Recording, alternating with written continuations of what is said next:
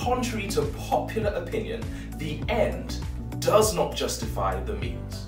Jacob had received the birthright blessing that he had craved, but he has used deception to achieve it. But every action has a reaction. Every cause has a consequence. Every decision has a destiny. Even though Jacob has the blessing, his brother wanted to kill him. He had no home, he felt alone, and he faced an unknown, uncertain, and unsettled future.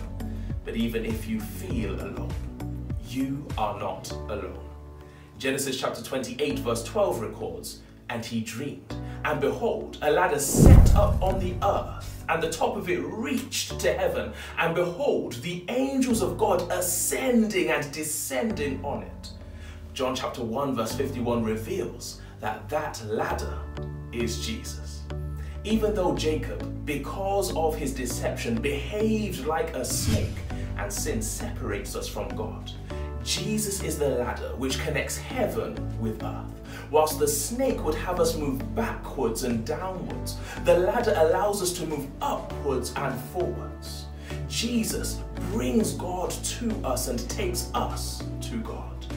You may be the biggest sinner, but Jesus is the greatest Savior. I'm Pastor B, and this has been Just a Minute.